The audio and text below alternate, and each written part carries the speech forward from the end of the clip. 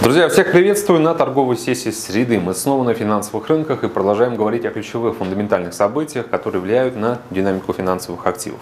Не забывайте подписываться на наш канал Амаркет, составляйте ваши вопросы в секции с комментариями и не забывайте ставить э, лайки.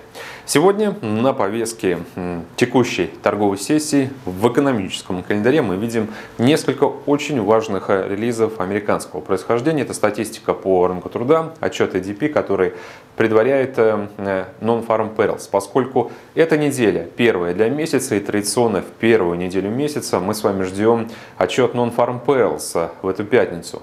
Один из самых лучших индикаторов общего состояния американской экономики сейчас за такими индикаторами. Внимание, Э, повышенная, поскольку мы все прекрасно понимаем то, что мировая экономика противостоит последствиям э, ковида. И э, оценка вот этих основных макроэкономических параметров позволяет нам понять и разобраться, как будет действовать регулятор, что будут предпринимать власти в плане дополнительных фискальных стимулов и как все это повлияет на ту валюту, которая стоит за конкретным регионом. А касательно доллара, друзья, индекс американской валюты 90.79, как мы видим, выше 91 существенно мы не прошли. И опять же отрабатывается вот этот вот диапазон 90-91. Ранее я уже комментировал, что скорее всего в нем мы и будем от зоны к зоне э, ходить до тех пор, пока не будут окончательно приняты решения решений согласован фонд экономической помощи почти на 2 триллиона долларов. Текущее снижение может быть частично связано с тем, что американский рынок долга все-таки не получил а, развития в плане траектории роста по доходности и сейчас а, снижается. Рынок долга, американские трежи казначейские облигации, это основной триггер для движения американской валюты в последние недели. Фактически между долларом и американскими облигациями была э, ну, крайне высокая э, корреляция. И эта корреляция, в принципе, сохраняется. Я рассчитываю на то, что все-таки американский рынок долга, десятилетки по доходности уйдут снова ниже отметки 1,2, и мы сможем сфокусироваться на прежних факторах, катализаторах движения американской валюты, на статистике и на то, как э, на эту статистику статистику будут реагировать власти. Денежные и непосредственно те власти, которые находятся в э, Белом доме. Э, сегодня, э, друзья, как я уже отметил, 16-15 отчеты DP по прогнозам 177 тысяч. Ну, не знаю. Я думаю, что это не подтверждение динамичного роста. Даже если мы увидим такие цифры в районе 170-180 тысяч, учитывая сколько без работы остается, американцев. Реакция все равно может быть сдержанной, это как минимум, а как максимум негативной.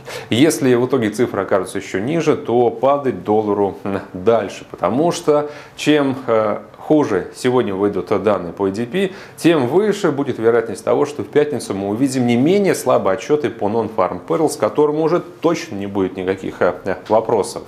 Также 18.00 ISM в сфере услуг по прогнозам цифры вроде бы как не должны разочаровать, но я провожу параллели а, состояния сектора услуг а, с общей активностью потребителей и как бы выхожу на потребительскую активность через данные по рынку труда. То есть, чтобы не противоречить себе, как я уже отметил, раз я по медвежьи смотрю на общий сектор рынка труда США, то и, соответственно, по ISM я не очень-то верю в динамичный рост и восстановление.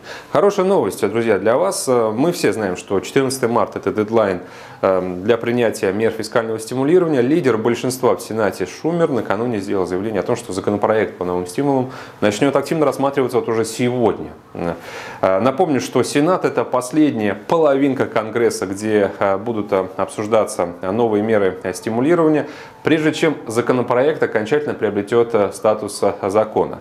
Голоса распределены 50 на 50 между демократами и республиканцами, но при этом решающий голос находится и остается за вице-президентом США, который, ну, разумеется, демократ. Поэтому в сухом остатке, друзья, у нас получается американская валюта, которая локально снижается при благоприятном развитии событий, при э, уверенности трейдеров в том, что новые экономические стимулы, прям совсем, прям рукой можно их потрогать уже совсем, э, скоро будут озвучены в качестве фактического решения. Э, при том, что американский рынок долго все-таки не находится на максимум за э, множество последних месяцев, то есть там выше отметки 1,5 а, снижается. Все это должно оказать достаточную поддержку для нашей с вами долгосрочная инвест-идея – это ослабление курса американского доллара. Нефть 62.91, здесь короткая позиция в приоритете. Мы, в принципе, ждем данные по запасам.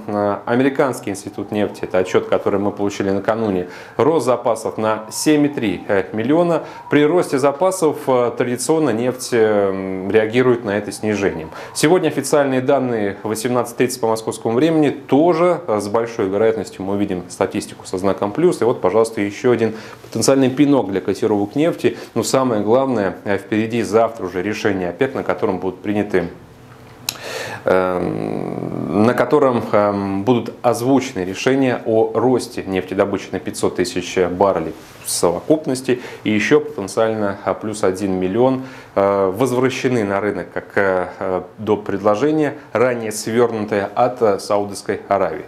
Австралиец против доллара 0,7817. Друзья, здесь длинные позиции уже в приоритете. Ближайшая цель 0,80. Темпы экономического роста, которые вышли сегодня утром, оказались лучше прогноза. 3,1% это оценка за четвертый квартал против прогноза 2,5%. Но ранее я говорил, что на мягкой риторике Резервного банка Австралии мы традиционно должны расти по австралийцу. Мягкая риторика была озвучена накануне, и действительно под конец дня австралийцы снова вытащили. История повторяется.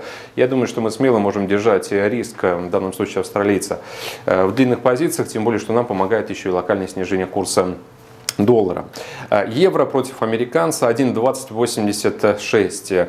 Э, ожидание э, более эффективной кампании по вакцинации. Ожидание более стремительных темпов экономического восстановления. Возвращение потребителей к нормальным показателям активности, которые подстегнут розницу, ускорят инфляцию и снизят вероятность дополнительного снижения процентной ставки в рамках еврозоны. Это все фон, который как бы абстрактно сейчас охватывает еврозону зону и выступают фактором поддержки для э, евро. Но я все-таки здесь рекомендую не мудрить, а признать тот факт, что для евро прежде всего определяющим фактором является доллар. По доллару уже все сказали, соответственно по евро ждем движения выше.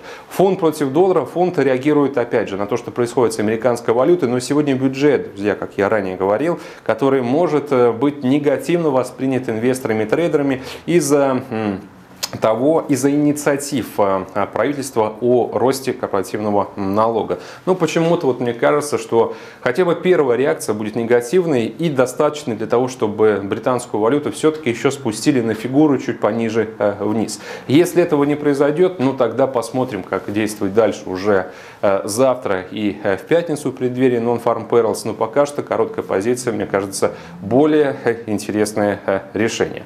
Друзья, на этом, собственно, все. Хорошей вам торговой торговой сессии и до скорых встреч. Всем пока!